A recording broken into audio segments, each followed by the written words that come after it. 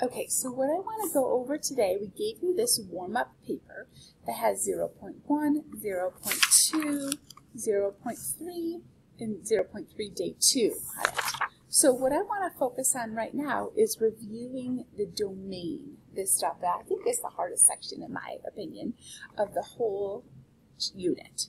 So when we're talking about this, so remember we're talking about the domain, it's the x values. So we have to find the limitations for the x values. There are really two big sins that we're trying to figure out here. Sin number one is you never want to divide by zero. So I always want to look and see, do I have a fraction? Not necessarily just a fraction, but a fraction that has an x in the denominator, okay? And rule number two, sin number two that you never want to commit is you never want to divide by, excuse me, you never want to take a square root of a negative. Now, this is Papa 2. So when we talk about square roots, it's more than just square roots. It's any even root, like a fourth root or a sixth root. Because if you go to your calculator and you try to take a square root of a negative number, it's going to tell you a domain error. If you try to take a fourth, oopsie, clear that out. If I try to take a fourth root of a number, it's going to tell me, oh my goodness, I have to make it a negative. If I try to take a fourth root of a negative number, it's going to tell me a domain error. You can take cubed roots and odd roots of negatives. You just can't take even roots of negatives. Okay? Now, there's some special situations where you might have a negative exponent We'll turn the negative exponent into a fraction and then deal with these two rules. Sometimes you have a radical in the denominator. That's what I call double trouble. So when that happens, you have to put the rules together to figure it out. Let's walk through this. So at first glance, you look, do you see any x's in a denominator? Nope. Do you see any radicals that are even? Nope. So this is all real numbers. So I can say negative OO to positive OO in buzz because it's negative infinity to positive infinity. There are no limitations on that. Now I look at this next one. So at first glance you think, oh, there's no limitations because I don't see a fraction or a radical. But you see that negative exponent? You have to write it as a fraction first. So the 3 doesn't move, and the x plus 4 doesn't need to move, but the x squared needs to go to the denominator because that's what a negative exponent is. Now, all of a sudden, I have to pay attention to this sin. I could be dividing by 0. So sometimes I scribble out the numerator because I'm done with it. Once I'm done with it, I don't want to look at it. It might be distracting.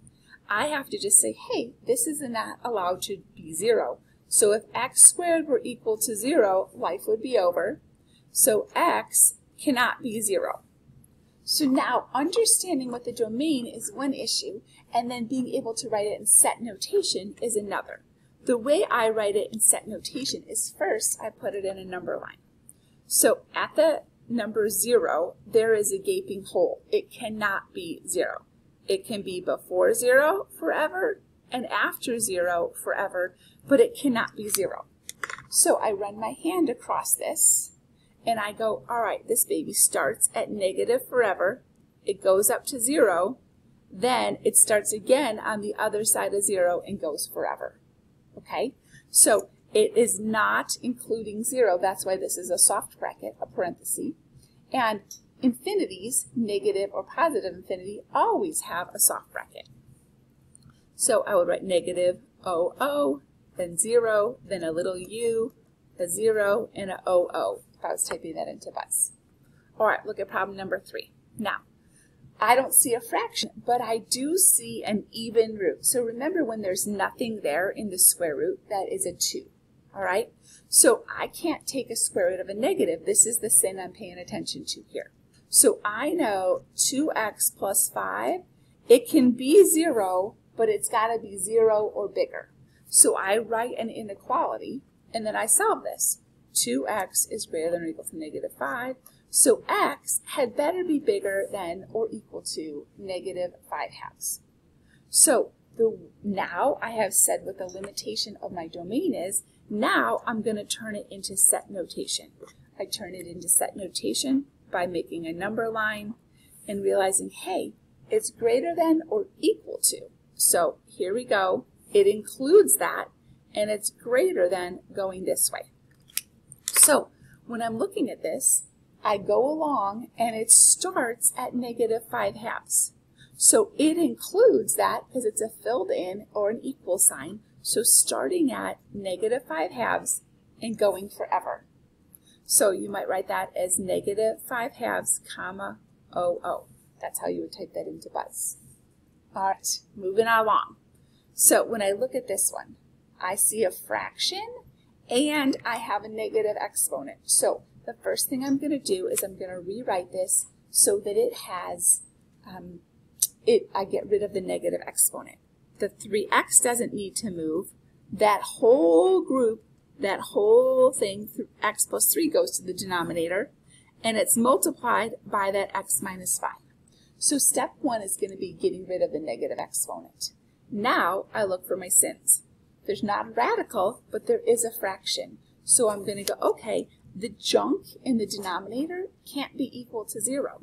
So if two things are multiplied by each other in the parentheses, you set each of those equal to zero. So x plus 3 is zero.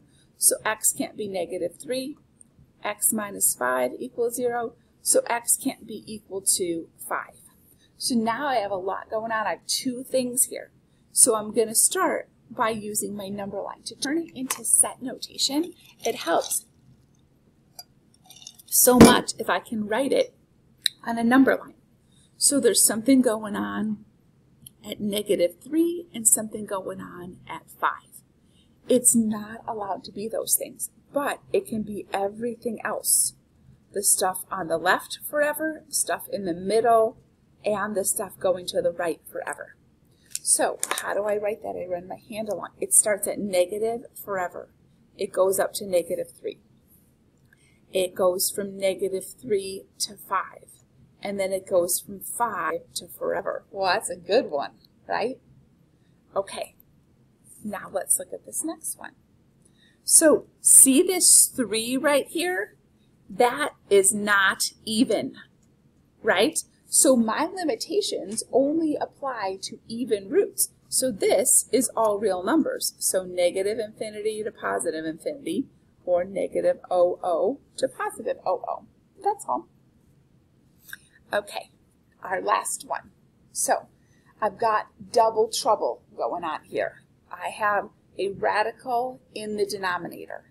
So you don't care about the numerator when we're trying to figure out what the domain is here. So I have to take the stuff in the denominator. Not only can it not be zero, but it can't be negative. So normally, if it's negative, I say, if it can't be negative, I say it's got to be greater than or equal to zero, like I did here. But it can't equal zero. So all I'm going to do here is make it greater than zero, the denominator. So x plus 1 is greater than 0, so x is greater than negative 1. That's it. As long as x is bigger than negative 1, this is okay. So let's turn this into set notation. Something's going on at the negative 1. That's an open circle because it does not include that. Think about it. If I plugged in negative 1 into here, I would have negative 1 plus 1 is 0, the square root of 0, which is 0, and I would be dividing by 0. We're not those kind of people. We don't do that. So I'm going to run my hand along this. It starts at negative 1, and it goes on forever. It's only this part right here. So you would say negative 1, and then your OO. So type that into Buzz. Hope this has helped you with a little review of 0 2.